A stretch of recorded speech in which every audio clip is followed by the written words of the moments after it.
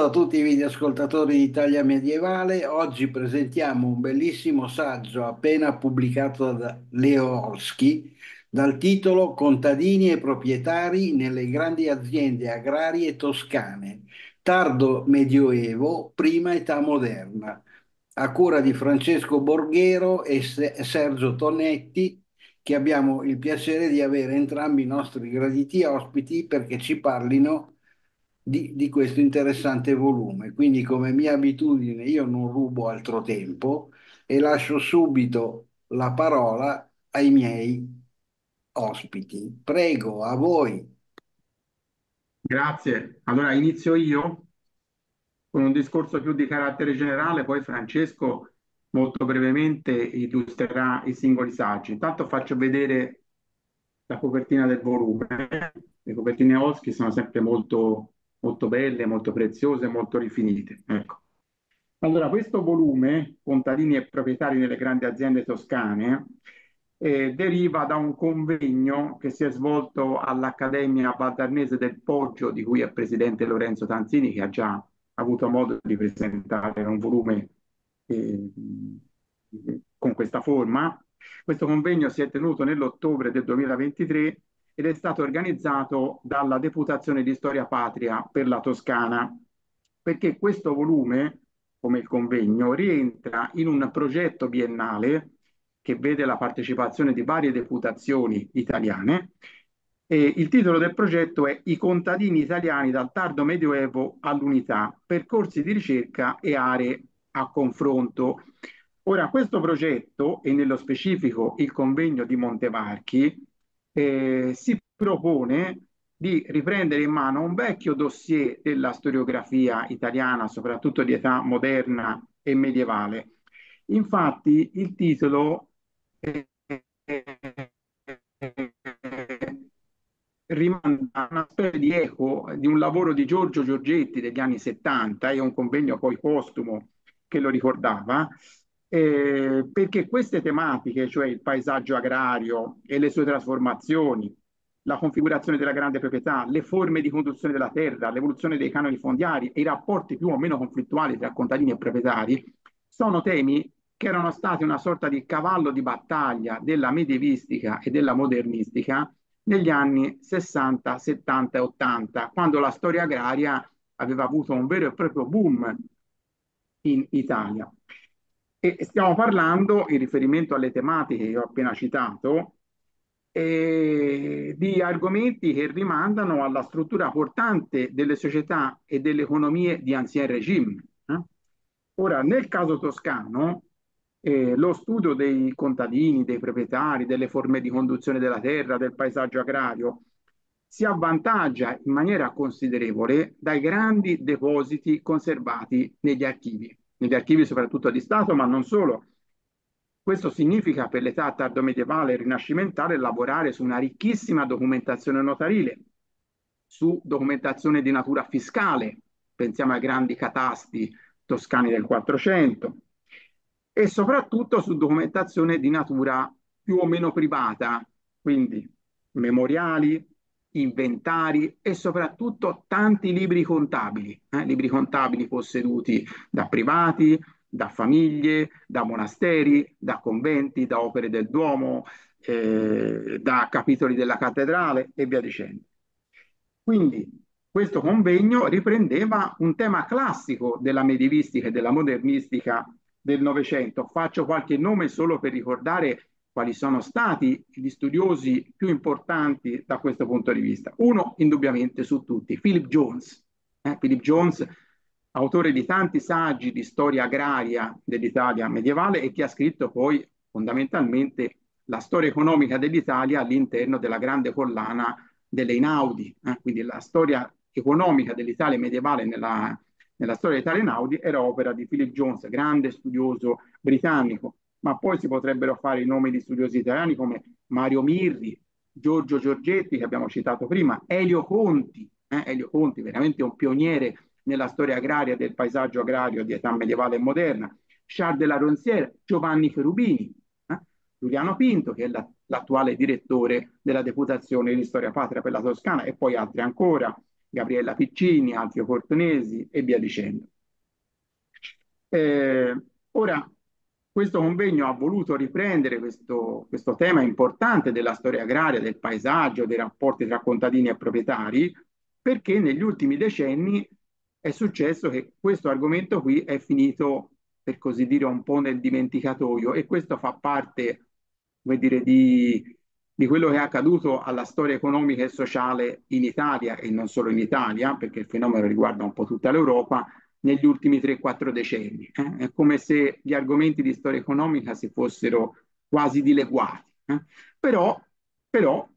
eh, mentre noi facevamo questo convegno, sono apparse due monografie non di ambito toscano, e questo è un bene, così c'è un ventaglio più ampio di ricerche, eh, proprio inerenti il mondo contadino e il mondo delle campagne. Eh, cito a questo proposito un volume di Tommaso Vidal, un giovane studioso, il cui titolo è Grano Amaro, lavoro contadino nell'Italia nord-orientale, secoli XIII-XV, edito da Forum Udine. E l'altro lavoro è quello di Filippo Ribani, eh, il cui libro si intitola Furti e insulti, il conflitto città-campagna tra immaginario e realtà nell'Italia tardo medievale con un, con un focus soprattutto per l'area emiliana. Questo volume è uscito con Viella. Quindi diciamo possiamo eh, essere abbastanza soddisfatti del fatto che queste ricerche di storia agraria negli ultimi due o tre anni stiano un po' tornando alla ribalta. Ora, e qui eh, termino con il mio intervento, eh, io oltre a curare il volume e l'organizzazione del convegno, e ho svolto anche dire, un intervento mio personale all'interno del libro, eh, un contributo dedicato alle terre e ai contadini della Badia Fiorentina. La Badia Fiorentina è il monastero urbano più importante di Firenze, citato anche da Dante nella commedia. Eh, terre e contadini della Badia analizzati per i decenni centrali del 400, perché in questo periodo noi disponiamo di eh, ben due inventari, ricchissimi, inventari proprio di beni immobili, oltre che immobili, e poi di libri mastri in partita doppia, quindi veramente registri ricchissimi dove ci sono tutti questi conti correnti intestati a mezzadri, fittavoli, livellari e via dicendo. Ora, qual è stato l'obiettivo del mio intervento? Stato, l'obiettivo è stato quello non solo di illuminare sui rapporti eh, contrattuali della Badia con i contadini, e quindi di far vedere la differenza tra la proprietà ecclesiastica e quella laica, eh, quanto a, mh, come dire, a criteri gestionali, ma anche di mettere in luce, e questo si vede bene dal, da alcune scritture contabili, come eh, la proprietà ecclesiastica non solo abbia criteri gestionali, tra virgolette imprenditoriali, parzialmente differenti rispetto al mondo laico, ma anche abbia un approccio peculiare nel rapportarsi ai bisogni e alle necessità dei loro contadini. E questo viene fuori in particolar modo con i contadini, tra virgolette, fidelizzati, cioè con i contadini che lavorano per 20-30 anni su un fondo e poi lasciano la terra al figlio, per esempio. Ecco lì emergono degli elementi, un lessico, magari sarà anche un po' apologetico, magari sarà un po' assolutorio da un certo punto di vista, però il lessico fa trasparire, come dire, che esistono degli scrupoli morali nello sfruttare fino in fondo il lavoro contadino. Ecco, quindi mi interessava anche sottolineare questo aspetto. Non c'è una differenza soltanto di criteri gestionali, cioè si fa l'utile o non si fa l'utile o quanto utile si fa, ma anche nell'utilizzo, nello sfruttamento eh, del, lavoro, del lavoro umano. Ecco. Quindi chiudo qui il mio intervento e lascio la parola invece al collega Francesco Borghero. Grazie. Grazie Sergio e un uh, rinnovato ringraziamento a Maurizio Calì, nonché alla redazione di uh, Italia Medievale eh, per questo cortese e gradito invito a, a, presentare questo volume miscellaneo, eh, appunto pubblicato poche settimane fa eh, per i tipi della casa editrice Olski, appunto curato da me e dal professor Tognetti. E, dunque, per quanto riguarda i eh, contenuti, il libro ha inteso lo abbiamo detto, indagare i rapporti tra contadini e proprietari eh, all'interno di una serie di grandi aziende agrarie della Toscana, eh, alcune delle quali mai oggetto sinora peraltro di eh, studi sistematici. E l'obiettivo è stato eh, esplorare eh, le eh, specificità dei rapporti tra i eh, padroni e i loro coltivatori, appunto all'interno di complessi patrimoniali vasti. Poi si può discutere appunto sul concetto di grande proprietà fondiaria e viene fatto nel volume, soprattutto in sede di conclusioni eh, nonché le peculiarità tra i diversi tipi di eh, proprietari fondiari e diversi contesti eh, cronologici e geografici. E quattro saggi eh, hanno per oggetto all'interno del volume proprietà ecclesiastiche eh, da una parte eh, le terre del capitolo della cattedrale di Firenze e del capitolo del Duomo di Siena,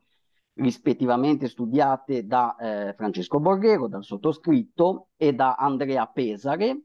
dall'altra eh, le terre dell'Abbadia Fiorentina e dell'Abbazia Cistercense di Settimo, rispettivamente indagate, lo si è detto, da eh, Sergio Tognetti e da eh, Andrea Barlucchi nel caso di Settimo.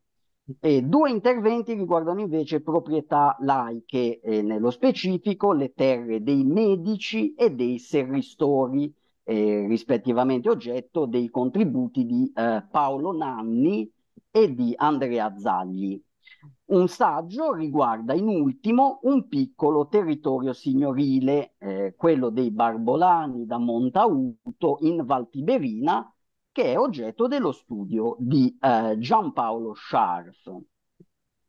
Sotto il punto di vista cronologico, Due relazioni sono incentrate sulla prima metà del Trecento e rispettivamente lo studio di Barlucchi sull'abbazia di Settimo e quello di Scharf sulle terre dei Barbolani da Montauto.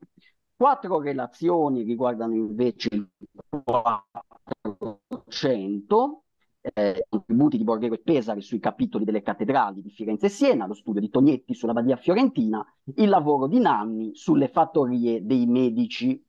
Andrea Zagli invece si è occupato, eh, lo si è detto, delle fattorie dei serristori in Valdambra nel tardo Seicento. Passando al punto di vista invece geografico, i saggi del volume sono corredati innanzitutto da un apparato di mappe e riguardo alle localizzazioni, queste spaziano dalle proprietà prevalentemente urbane e suburbane, nel caso dei capitoli delle cattedrali, di Siena e di Firenze, della Badia Fiorentina e di quella di Settimo. Si passa poi alle fattorie Medice in Mugello, a quelle in Valdarno, Valdichiana e Valdambra dei Serristori, sino appunto alla microsignoria in Valtiberina, eh, tra Borgo San Sepolcro e Città di Castello, dei Barbolani da Montauto. Riguardo alle fonti documentarie impiegate, eh, professor Tognetti lo ha accennato, oltre alle scritture amministrative, fiscali e contabili, eh, in alcuni casi particolarmente abbondanti, in altri eh, irrimediabilmente carenti, campeggia, lo sottolineo, la novità rispetto alla precedente storiografia dell'utilizzazione, quantomeno ad ampio raggio, delle fonti notarili, sia quanto ai eh, notai pubblici eh, che operavano nei luoghi oggetto di indagine, sia quanto ai notai attivi per gli enti laici ed ecclesiastici. Emergono inoltre le scritture di tipo giudiziario e eh, infragiudiziario, eh, pervenute in vario modo negli archivi eh, ecclesiastici, privati e notarili, oltre che nei fondi diplomatici. Passando ai singoli saggi,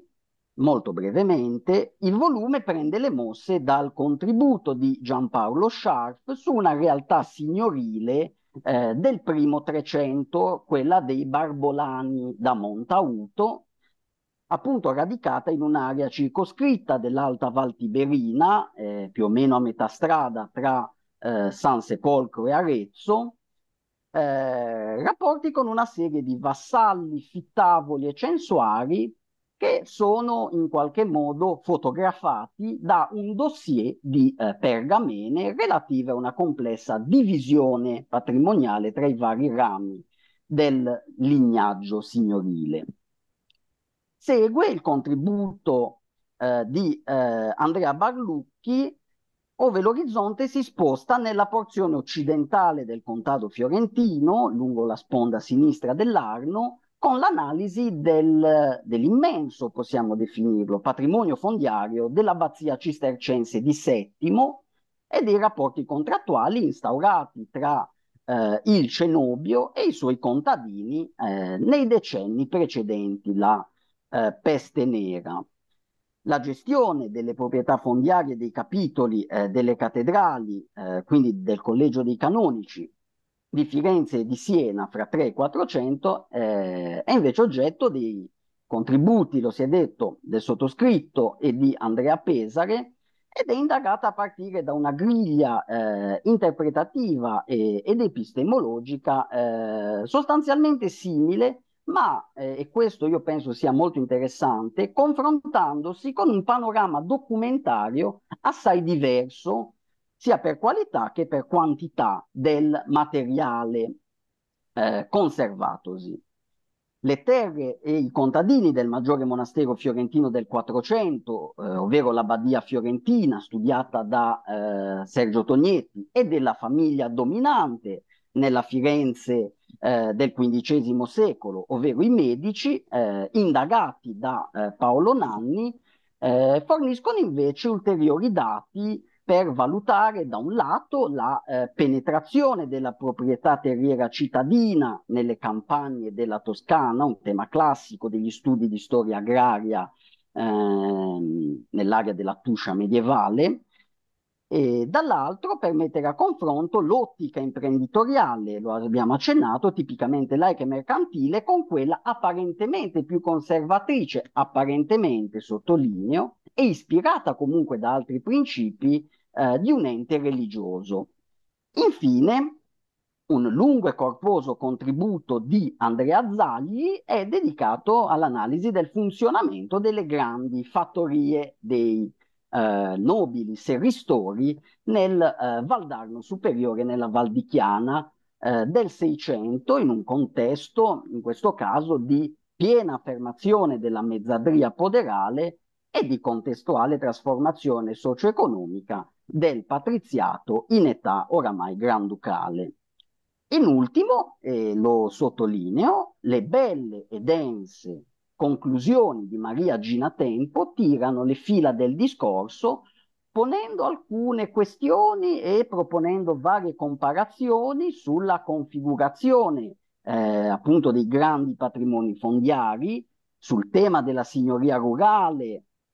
e delle sue trasformazioni nel basso e tardo medioevo, questo è un tema peraltro oggetto di recenti importanti eh, progetti di ricerca su scala nazionale,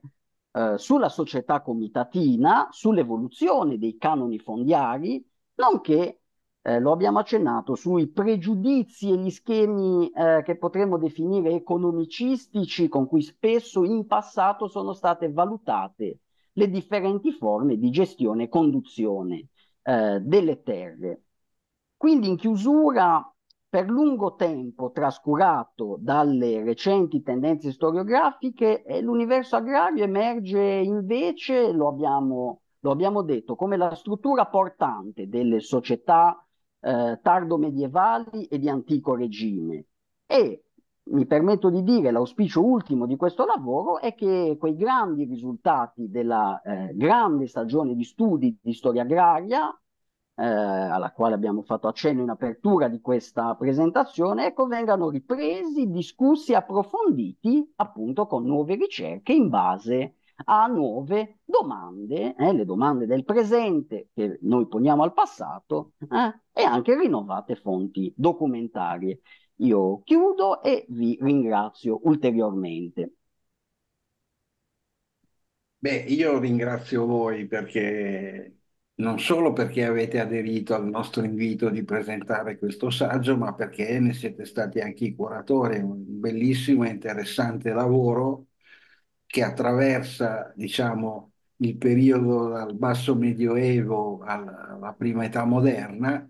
e che sicuramente ci aiuta a comprendere molte delle dinamiche e dei rapporti tra autorità laiche, autorità religiose, tra eh, proprietari terrieri e il- il- la loro manovalanza, chiamiamola così, i contadini, no? Che eh, non, non sono così sotto i fari dei riflettori come lo sono i cavalieri, i duellanti e, e quant'altro, ma eh, costituiscono la base l'essenza primordiale di, di- di chi dà da mangiare a tutti gli altri, insomma, poi in sostanza, de- detto in parole, in parole molto povere. Quindi io mi auguro che corrano tutti in libreria ad acquistare questo volume di cui ricordo il titolo, Contadini e proprietari nelle grandi aziende agrarie toscane tardo medioevo, prima età moderna, appena pubblicato per i tipi di Oschi, a cura di Francesco Borgheri e Sergio Tognetti, che abbiamo avuto il grande piacere di avere i nostri graditi ospiti, che io ringrazio tantissimo ancora. Grazie. Grazie, grazie. Grazie ancora.